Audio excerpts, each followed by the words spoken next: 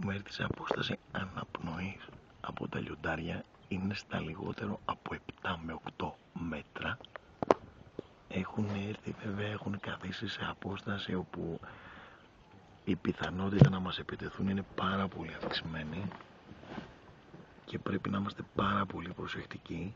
Προσποιούνται ότι είναι τεμπέλικα αλλά κατά πάσα πιθανότητα δεν είναι έχουν καθίσει σε μια απόσταση 10 μέτρων το ένα από το άλλο. Και πραγματικά δεν γνωρίζουμε τι πρόκειται να κάνουν. Μπροστά εδώ βλέπουμε τον αρχηγό της Αγέλης πίσω προφανώς είναι το θηλυκό του η είναι μια πανέμορφη λένα. Και αυτή τη στιγμή κοιτάνε γύρω. Και εμείς απλά το περιμένουμε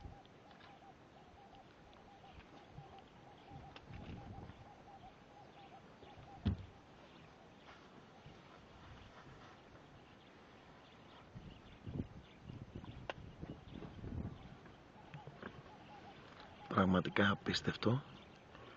Εδώ στο Πεντζάρι